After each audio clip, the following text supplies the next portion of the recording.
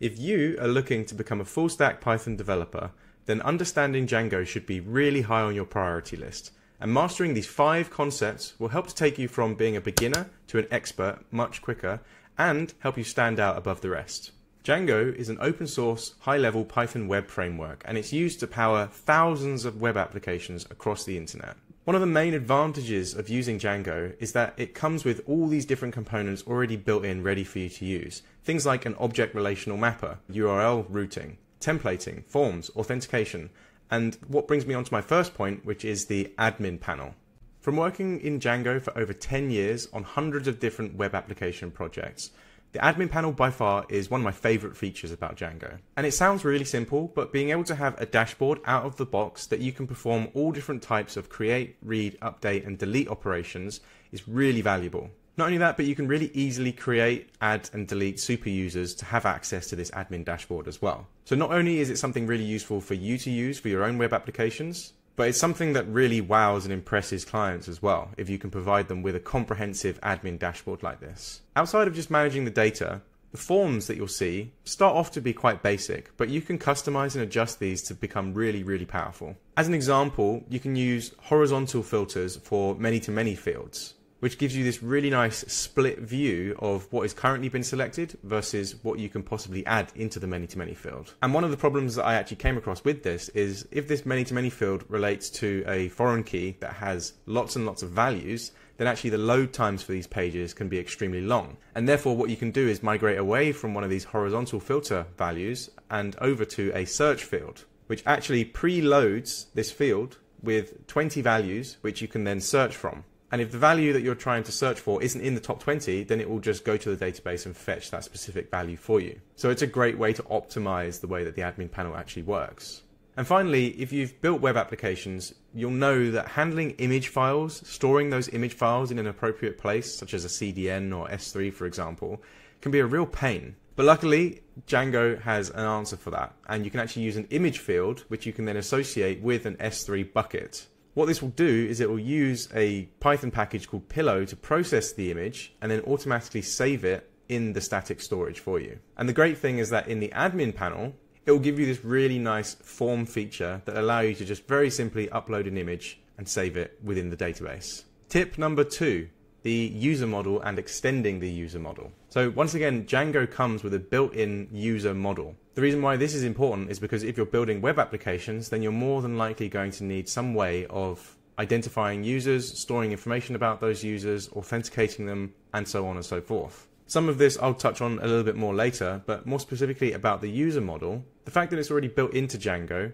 it has a predefined schema, and out of the box manages things like encryption of passwords, storing of those passwords, unique identification of emails, just saves you so much time. Now, the great thing about this user model that comes out of the box is that it's really powerful, but it's very simple as well. And what you'll more than often find is that if you're building a web application, you might want to store more information about the user than what's currently available in the user model schema. So what you can then do is you can actually extend the user model and link it to another model, such as a profile model, using a one-to-one relationship. And this allows you to store way more information about the user such as their current location, their preferences, a description or a bio, for example. And then by tying the two models together as a one to one field, it links them indefinitely, meaning that one user can only be matched to one profile. And then just relating this back to the admin panel, what you can do is you can actually unify the user experience in the admin panel so that you don't have to keep switching between the user model and the profile model. So you can actually have the profile appear inline for the user model, which is really great. Now moving on to number three, which is the Django REST framework. Out of the box, Django gives you all types of capabilities to create views for your application, which can serve HTML or responses back to the client. But if you're building a modern web application, then you're more than likely going to want to build some kind of API style views. And if that is the case, then you're more than likely going to want to create some REST APIs. So that's where the Django REST framework comes in. It works really well with the underlying Django framework, and once again, it comes with a whole bunch of out of the box features. One of these is the serializers. So, what this allows you to do is not only to store information coming from an API request in a unified and a serialized method, but it allows you to retrieve information from the database and serialize it in the way that you need to actually prepare it and format it for the front end. So it helps to keep the requests and the responses really, really uniform and coupled. So you can create a completely custom serializer to process and then format data however you wish, or you can actually pair these serializers to a specific model. So then you're utilizing the underlying model to actually do all the legwork for you in terms of the different fields and the way that the fields need to be formatted. So serializers are really focused on working with data, not only from requests, but also with responses. But then if you're looking at the Django REST framework, you're more than likely going to make use of the API views. So you can initialize an API view either by using the handler or by using the API view class. And this keeps your APIs uniform and gives them a whole bunch of functionality and access to data. What you can then do to go one step further is you compare this API view class with a class-based view. This just adds even more modularity and even more reproducibility into your code. Because what you're able to do with the class-based views is you're able to house all of your different HTTP methods and any helper methods that you might want to include all within one single class. So you can have get, post, put, patch, and delete all within the same class.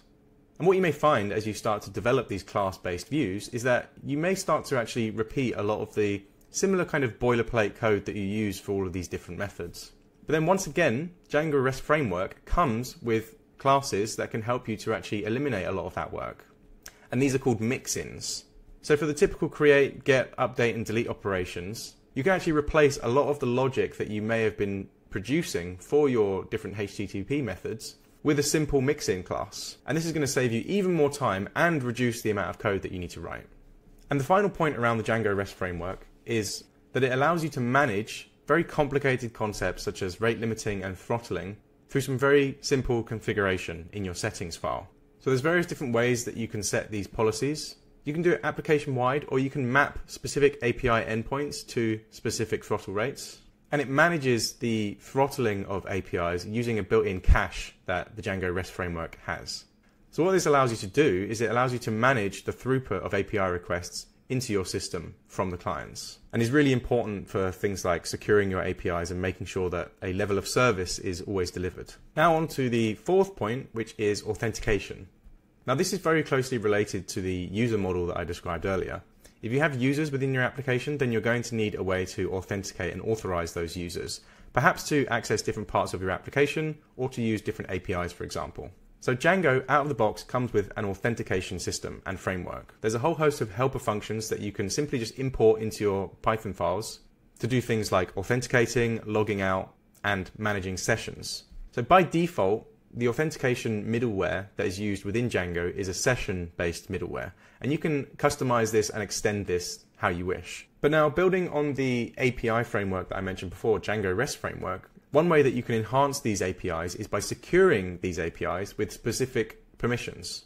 And these include permissions such as is the user authenticated? Are they a staff member? Do you want to allow anybody to use this API? Or you can actually create your own custom permissions based on user information.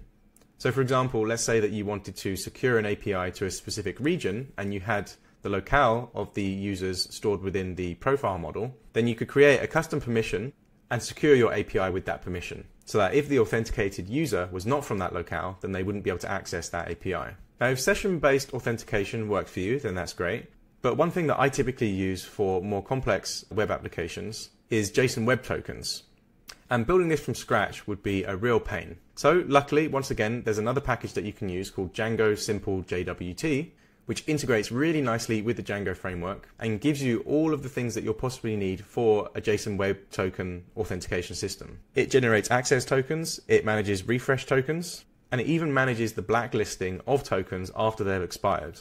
Not only that, but all of this information about the tokens can also be seen in the admin dashboard as well. My last and final point, point number five, is localization, internationalization, and time zone support.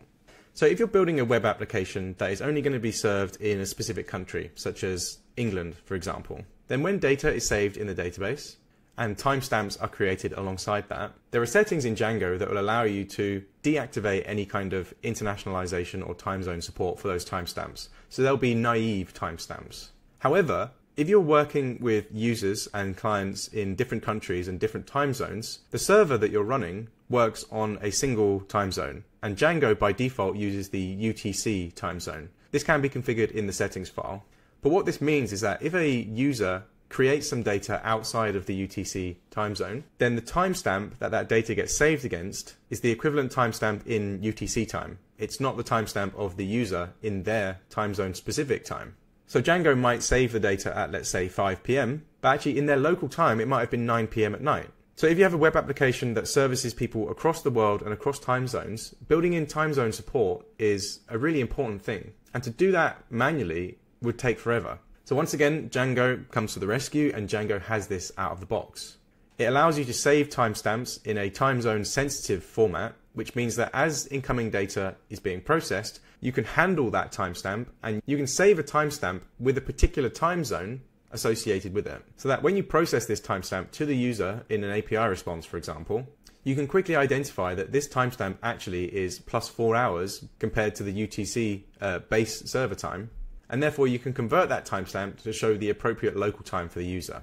Alongside being able to show and handle local times for users across the world, languages is also a really important thing. So let's say you have some static content that you want to serve to your users. It might be a snippet of text, it might be a HTML snippet, it might be an API response. But there might be some parts of that response that you need to localize based on the location of the user. For example, some text. You don't necessarily want to show an English piece of text to everybody around the world. You might want to put it in their local language. So out of the box, Django has features that allow you to manage translations of different static information so that when the user's location is known in an API response, you can use the helper methods to very quickly ensure that the right text in the right language is being shown to the user. And this just helps to improve the user experience for people all over the world. Otherwise, you'll end up having to build some kind of really manual mapping process in the backend, which really isn't what you want to do at all. So, those are my five top tips for Django. From working with Django for over 10 years, I can guarantee you that by using these tips and by making use of these different features,